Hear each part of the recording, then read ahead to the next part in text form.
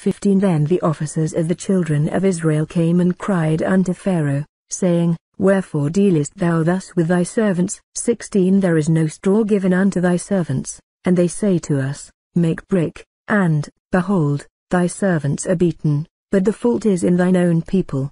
17 But he said, Ye are idle, ye are idle, therefore ye say, Let us go and do sacrifice to the Lord. 18 Go therefore now, and work, for there shall no straw be given you, yet shall you deliver the tale of bricks.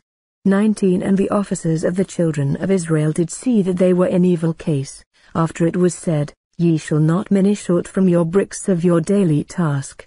20 And they met Moses and Aaron, who stood in the way, as they came forth from Pharaoh. 21 And they said unto them, The Lord look upon you, and judge, because ye have made our Saviour to be abhorred in the eyes of Pharaoh, and in the eyes of his servants, to put a sword in their hand to slay us. 22 And Moses returned unto the Lord, and said, Lord, wherefore hast thou so evil entreated this people? Why is it that thou hast sent me?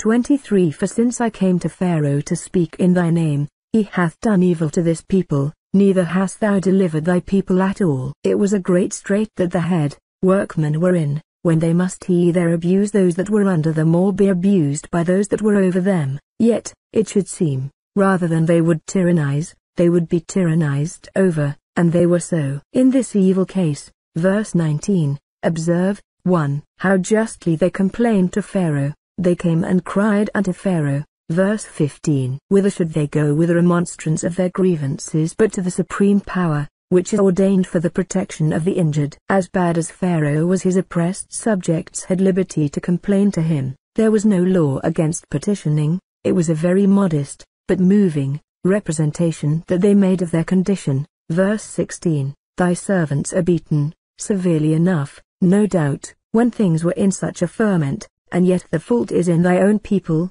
the task, masters, who deny us what is necessary for carrying on our work. Note, it is common for those to be most rigorous in blaming others who are most blameworthy themselves. But what did they get by this complaint? It did but make bad worse. 1. Pharaoh taunted them, verse 17, when they were almost killed with working. He told them they were idle, they underwent the fatigue of industry, and yet lay under the imputation of slothfulness, while nothing appeared to ground the charge upon but this, that they said, Let us go and do sacrifice. Note, it is common for the best actions to be mentioned under the worst names. Holy diligence in the best business is censured by many as a culpable carelessness in the business of the world. It is well for us that men are not to be our judges, but a God who knows what the principles are on which we act. Those that are diligent in doing sacrifice to the Lord will, with God, escape the doom of the slothful servant, though, with men, they do not. 2. He bound on their burdens, Go now and work, Verse 18 Note, wickedness proceedeth from the wicked, what can be expected from unrighteous men but more unrighteousness? 2. How unjustly they complained of Moses and Aaron, the Lord look upon you, and judge. Verse 21 This was not fair, Moses and Aaron had given sufficient evidence of their hearty good, will to the liberties of Israel, and yet, because things succeed not immediately as they hoped, they are reproached as accessories to their slavery. They should have humbled themselves before God, and taken to themselves the shame of their sin, which turned away good things from them. But, instead of this, they fly in the face of their best friends, and quarrel with the instruments of their deliverance, because of some little difficulties and obstructions they met with in effecting it. Note, those that are called out to public service for God and their generation must expect to be tried, not only by the malicious threats of proud enemies, but by the unjust and unkind censures of unthinking friends, who judge only by outward appearance and look but a little way before them. Now what did Moses do in this strait? It grieved him to the heart that the event did not answer, but rather contradict, his expectation, and their upbraidings were very cutting, and like a sword in his bones. But, 1. He returned to the Lord, verse 22, to acquaint him with it, and to represent the case to him. He knew that what he had said and done was by divine direction, and therefore what blame is laid upon him for it he considers as reflecting upon God, and, like Hezekiah, spreads it before him as interested in the cause, and appeals to him. Compare this with Jeremiah 20. 7 to 9. Note, when we find ourselves, at any time, perplexed and embarrassed in the way of our duty, we ought to have recourse to God, and lay open our case before Him by faithful and fervent prayer. If we retreat, let us retreat to Him, and no further.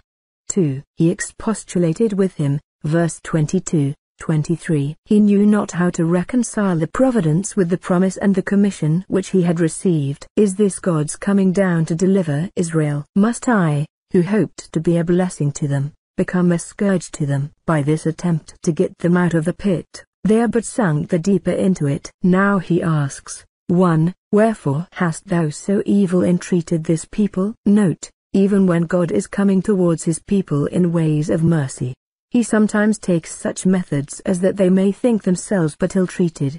The instruments of deliverance, when they aim to help, are found to hinder, and that becomes a trap which, it was hoped, would have been for their welfare, God suffering it to be so that we may learn to cease from man, and may come off from a dependence upon second causes. Note, further, when the people of God think themselves ill-treated, they should go to God by prayer, and plead with him, and that is the way to have better treatment in God's good time. 2. Why is it thou hast sent me? Thus, 1.